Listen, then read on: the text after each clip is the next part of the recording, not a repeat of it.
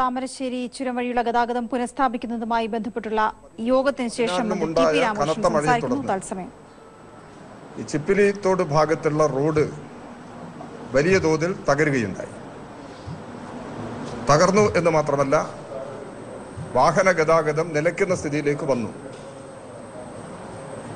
ഈ പ്രശ്നത്തിന് അടിയന്തര പരിഹാരമുണ്ടാക്കുന്നതിനുള്ള വഴികളാണ് ഇവിടെ ഇന്ന് ആലോചിച്ചത്. ഇവിടെ ബഹുമാനപ്പെട്ട ട്രാൻസ്പോർട്ട് വകുപ്പ് മന്ത്രിയുടെ അധ്യക്ഷതയിൽ യോഗം ചേർന്ന് ചില പ്രധാനപ്പെട്ട തീരുമാനങ്ങൾ എടുത്തിട്ടുണ്ട്. ഈ മീറ്റിംഗിൽ ബഹുമാനപ്പെട്ട തുറമുഖ വകുപ്പ് മന്ത്രി കൂടി പങ്കെടുത്തു. കോഴിക്കോട് ജില്ലാ കലക്ടറും വയനാട് ജില്ലാ കലക്ടറും ഈ മീറ്റിംഗിൽ പങ്കെടുത്തിട്ടുണ്ട്. Thiruvambadi M L A George M Thomas Kalpetta M L A C K Saseendran ഈ രണ്ട് ജനപ്രതിനിധികളും പങ്കെടുത്തിട്ടുണ്ട്.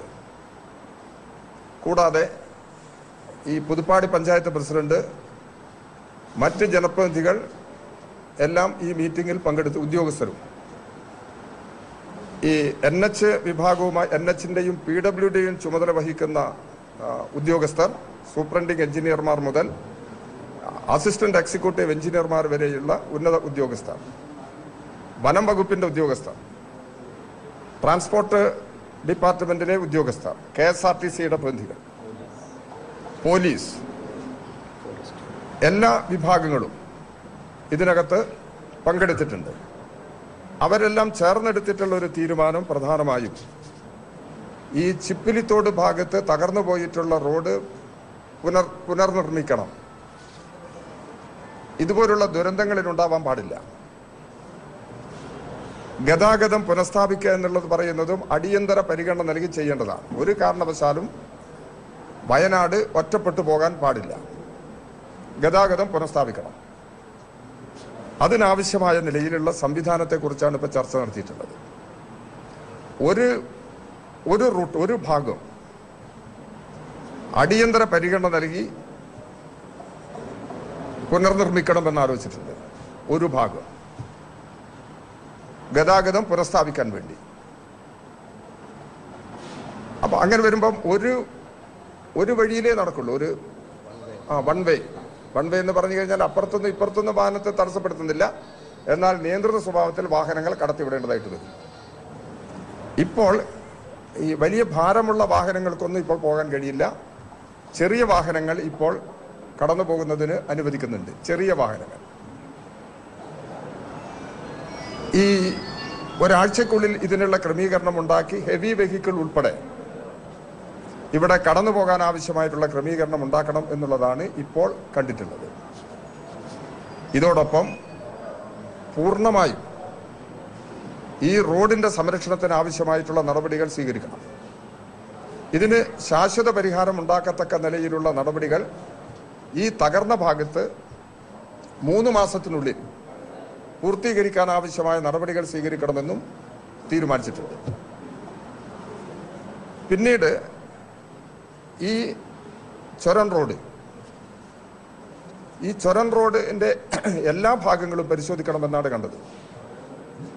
ഇതുപോലുള്ള ദുരന്തങ്ങൾ ഉണ്ടാകാതിരിക്കുന്നതിനുള്ള എല്ലാ ക്രമീകരണങ്ങളും നടത്തേണ്ടതുണ്ട്.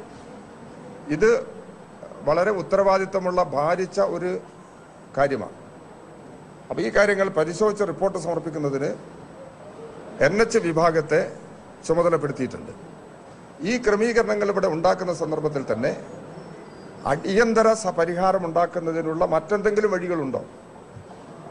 മറ്റ് വഴികൾ ഉണ്ടോ എന്ന് പരിശോധിച്ച് കൂടുതൽ എളുപ്പത്തിൽ ചെയ്യാൻ കഴിയാവുന്ന മറ്റ് മാർഗങ്ങളുണ്ടെങ്കിൽ അത്തരം കാര്യങ്ങൾ കൂടി പ്രയോജനപ്പെടുത്തണം എന്നുള്ളതാണ് കണ്ടിട്ടുള്ളത്.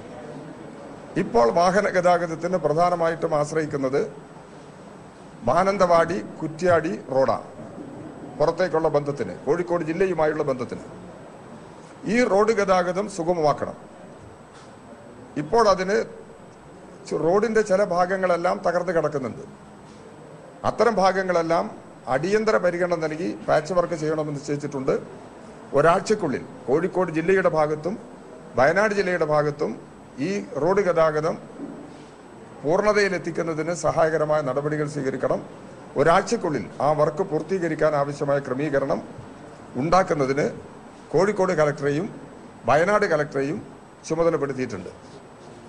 ഗതാഗത സൗകര്യങ്ങളെ സംബന്ധിച്ചിടത്തോളം ക്രമീകരണങ്ങൾ ഉണ്ടാക്കിയിട്ടുണ്ട്. ആ കാര്യങ്ങൾ ബഹുമാനപ്പെട്ട ഗതാഗത വകുപ്പ് മന്ത്രി തന്നെ ഇവിടെ വിശദീകരിക്കും.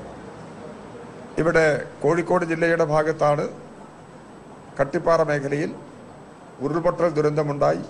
പതിനാല് പേരെ കാണാതായി. അതിൽ എട്ട് പേരുടെ മൃതശരീരമാണ് കണ്ടെത്തിയത്. ആറുപേരെ കണ്ടെത്തുന്നതിന് വേണ്ടിയുള്ള ശ്രമം ഇപ്പോഴും തുടർന്നുകൊണ്ടിരിക്കുകയാണ്. ഈ ദുരന്തത്തിന്റെ ഭാഗമായി പല സ്ഥലങ്ങളിലും ആളുകൾ മാറി താമസിക്കേണ്ടി വന്നിട്ടുണ്ട്. മാറ്റി താമസിക്കുന്നതിന് ആവശ്യമായിട്ടുള്ള എല്ലാ ക്രമീകരണങ്ങളും ഉണ്ടാക്കിയിട്ടുണ്ട്. താമസ സൗകര്യം അവർക്ക് ഭക്ഷണം ചികിത്സാ സൗകര്യം. ഇതിനാവശ്യമായിട്ടുള്ള എല്ലാ ക്രമീകരണങ്ങളും വയനാട് ജില്ലയിലും കോഴിക്കോട് ജില്ലയിലും എല്ലാം ഉണ്ടാക്കി കഴിഞ്ഞിട്ടുണ്ട്. വളരെ ഗൗരവമായി ഗതാഗതം പുനഃസ്ഥാപിക്കാൻ അടിയന്തര നടപടികളിലേക്ക് കടക്കുകയാണ്.